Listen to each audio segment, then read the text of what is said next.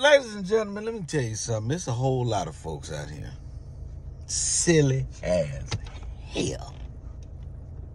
Silly as hell. There was an officer that was arrested.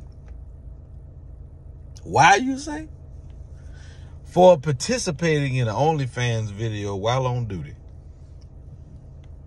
Now, uh, just imagine. Just imagine getting out of school, going to the police academy, going through all that in the academy. You get out, become a police officer, and your silly behind gets arrested yourself for participating in the OnlyFans. Like, what the hell? Boy, what? You ain't think nobody was gonna see that? Didn't think nobody was gonna see that.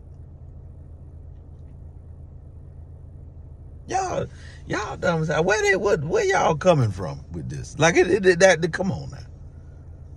The level of intelligence. You got to be just uh, your common sense just ain't there. You in uniform. You think we wasn't you think nobody was going? Come on, dog. Now your ass got to go work at Wendy.